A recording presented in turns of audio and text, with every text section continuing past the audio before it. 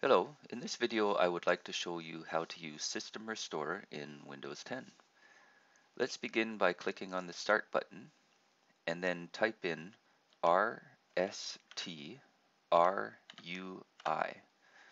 Now you should get this RSTRUI run command. Click on that entry and you'll see the Restore System Files and Settings dialog.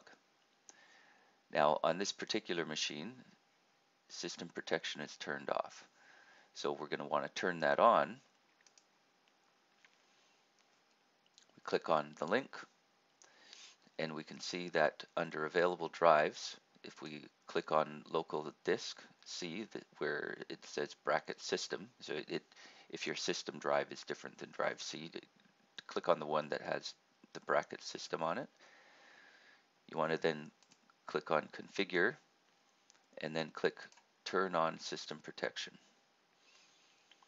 And then uh, under maximum usage, you want to choose a percentage of your drive to be used by system restore.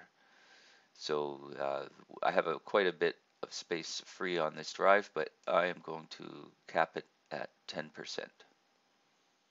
going to go ahead and click OK to that. And now system restore is on.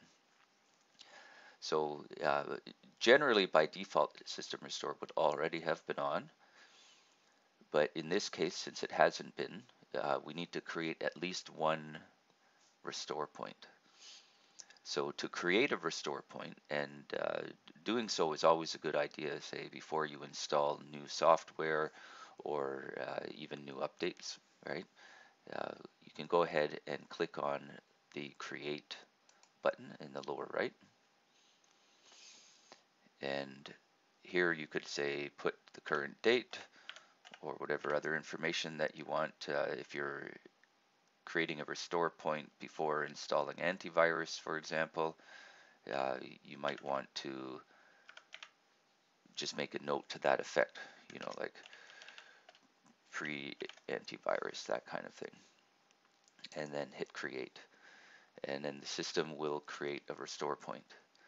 So the restore point contains information about uh, all the software on the drive you're protecting and the, the settings of the actual computer, like the registry, that kind of thing. It does not include uh, your personal data. So this is not a way to back up your documents or pictures, etc. That's not what gets restored uh, when you run system restore if you would need to back that kind of thing up, uh, that's a whole different process. This is just for the system or, or the system state. So now that we have at least that one restore point, we can then uh, go through the process that you would go through if you needed to restore to a point, right, in the past. So to do so, you would click on this System Restore button. Now you get the Restore System Files and Settings dialog. And it gives you the warning that I just did basically. Here, System Restore does not affect any of your documents, pictures, or other personal data. Recently installed programs and drivers might be uninstalled. And that's often exactly the reason why you want to run it.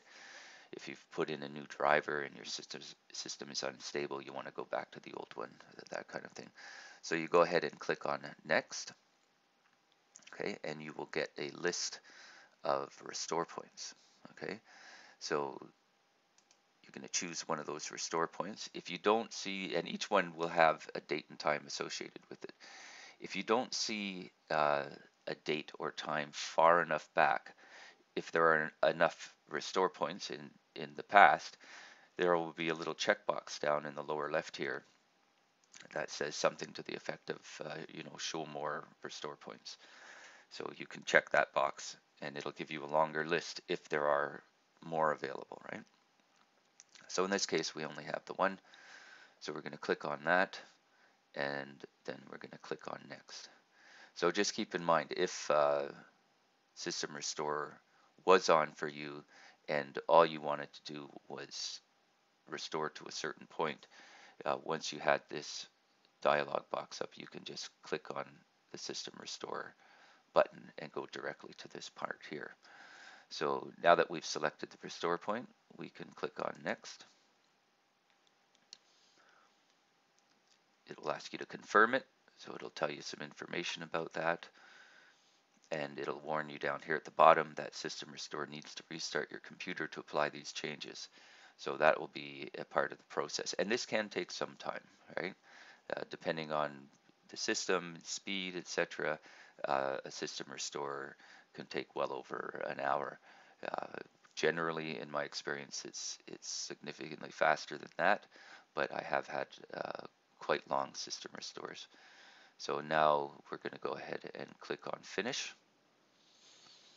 Another warning, once started, system restore cannot be interrupted. Do you want to continue? Uh, course, we're going to say yes in this case, but uh, just make sure if it's a laptop or whatever, uh, that you have the power uh, cable plugged in, right? So this, is, this could be a power intensive operation.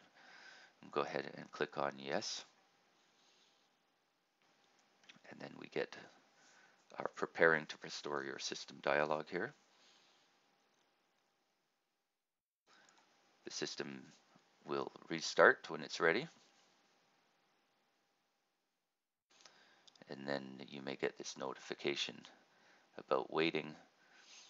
And uh, this bit here uh, where it says system restore is initializing, uh, quite often that takes a long time, right? So don't think it's stuck.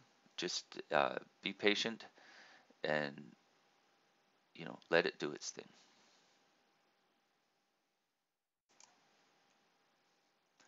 Now we see the system restore is restoring the registry. So it's actually doing the restore at this point after initializing.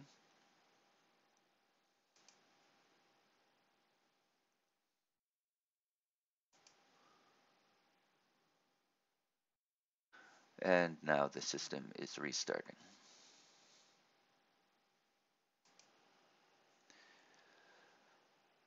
So ultimately, you want to see this box that says system restore completed successfully and then it'll tell you uh, which restore point it was restored to. Now, when the system restarts, give this box some time to come up. It will either come up and say it was successful, or of course, in a sad case of it not being su uh, successful, it would say it was unsuccessful.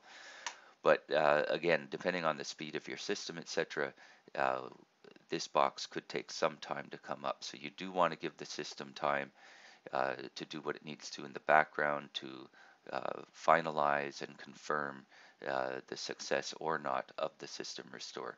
So uh, when the system reboots, don't start using your computer right away. Uh, give it some time to figure out its full status. And then once you see this notice, you know you can you can close that and then continue on with things. Hopefully this has helped you turn on and manage and use System Restore. Thanks for watching.